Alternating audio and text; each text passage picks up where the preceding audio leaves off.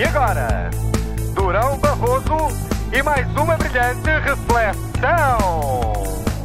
Sometimes I like to compare the European Union as a creation to the organization of empires.